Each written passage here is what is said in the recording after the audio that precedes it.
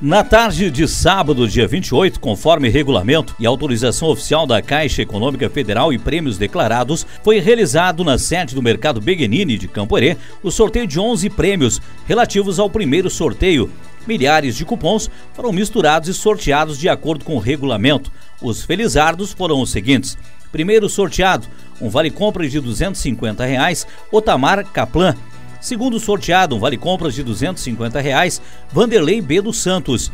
O terceiro sorteado, um vale-compras de 500 reais, foi Cleusa B. da Silva Martins. Quarto sorteado, vale-compras de 500 reais, Jason Rafael Campos. O quinto sorteado, um aparelho de jantar 20 peças, Silvano José Daneluz.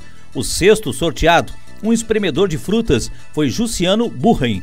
O sétimo sorteado, uma escova alisadora para cabelo, foi Elvira da Silva. O oitavo sorteado, um fogão a gás quatro bocas, Lidiane de Oliveira. O nono sorteado, um forno micro-ondas, foi Terezinha Tognon.